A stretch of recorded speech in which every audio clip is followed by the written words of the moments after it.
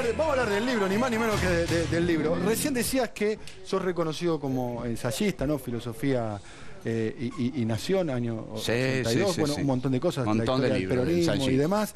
So- como novelista eh, eh, también. Y esta vez estás con el tema de eh, cuentos. Cuentos. Cuentos. Son cuentos y dos novelas, o sea, dos no- novelas cortas. Sí, o cuentos tiene- largos. si O cuentos largos. Que estamos hablando de, de- de Bongo, este, eh, que es un, un perro, un cuento sobre De un perro. que no perro de mi infancia, Sí. exactamente, sí. Yo, le- yo leí un- uno de los cuentos, se llama Dieguito, que es este, de- demoledor, es, es- Sí. es tremendo, es, es- es muy fuerte. No sé si contar parte del argumento o no, pero es que Maradona tiene un accidente Queda hecho pedazos.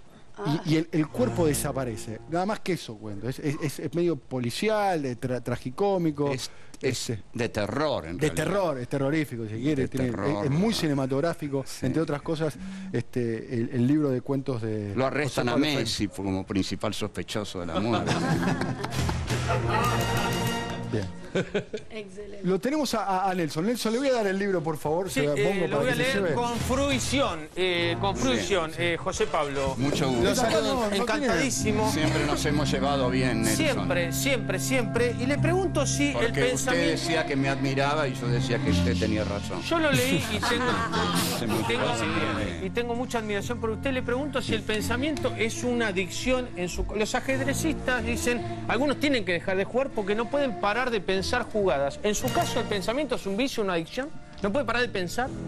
Puedo parar de pensar. Cuando va al baño, por ejemplo, digo, No, ahí el baño es el lugar filosófico de la casa. por naturaleza. Por naturaleza. Eh, ¿Conoce el síndrome, el síndrome de Ubris, la enfermedad del No, poder? la verdad que eso no lo conozco. Padece no, la- no la- entré en esa onda cuando usted lanzó eso. La señora presidenta, la señora presidenta lo padece, padece, ¿no es cierto? La enfermedad del ¿Y usted poder. cómo sabe que El lo creer- padece? Bueno, porque yo la analizo a través de la lente, ¿no es cierto? No a es posible, distancia. eso, eso no es posible. Eso no, puede, está- no puede dar un diagnóstico a través de una pantalla. Usted y Marcos Aguínez en realidad tendrían que ir presos por Ajá, eso. ah, bien lo que dice. bien. Directamente. O sea, usted me recomendaría medicaciones, una sublingual. no, no, yo, yo diría que le quiten la licencia. Ah, bien, bien. O Porque sea, usted no puede dar un diagnóstico de un paciente Ajá, públicamente. No lo puede hacer. Usted es un médico, el diagnóstico es secreto. Todavía su colega Marcos Aguinis en la Feria del Libro dijo que la presidenta tenía eh, depresión bipolar, que es un grado de depresión muy grave. el amigo Aguinis, ¿verdad? El amigo Aguinis. Sí, sí, sí. Bien, o sea, con eso me ha, me ha respondido bien. Le pregunto en este caso la culocracia, ¿verdad? Usted dice que en los 40, 50 estaba el imperio de la teta, ¿no es cierto? La, la, la mama, ¿verdad? Después, ahora estamos bajo el imperio de el culo, ¿verdad? Tranquilo. Sí. ¿Qué sería el- la pos, la posculocracia? ¿Qué viene después? ¿Viene una estancia naif? ¿Quizás un hombro? ¿Sería? ¿Qué sería la posculocracia? Si me puede... Me sorprende, Nelson. Nunca pensé que usted iba a llegar a un refinamiento. eh.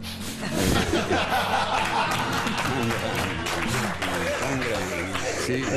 Gracias. ¿Podemos terminar el Yo, yo la verdad que estaría, estaría, Le da alta, le da estaría alta. toda la noche con usted, usted lo sabe, No, ¿verdad? Tengo yo- 28 preguntas para hacerle. Pero bueno, Nelson, eh, pero esta sutileza que usted acaba de lanzar, ¿cómo no puede ser un hombre? un hombro, un lóbulo de la oreja, quizás, no se sabe. Volvemos a un estado Un naif. cuello. Un No lo digo yo. ¿Cómo no? Lo dice, esto lo digo con la tranquilidad que me da la realidad, José Pablo. Te agradezco. Señoras y señores, nos estamos yendo. ¿Cómo la pasó, hermano? ¿Todo bien? ¿Cómo la pasaste? Muy ¿Bien? bien, querido, la pasé muy, muy Fue, bien. fue un placer tenerte aquí en el programa. ¿eh? Recordamos el lanzamiento de Bongo, eh, el libro de cuentos de José Pablo Feima, que lo tenemos acá. Ya leímos un par de cuentos muy, pero muy buenos. Voy a pedir un aplauso para José Pablo. Para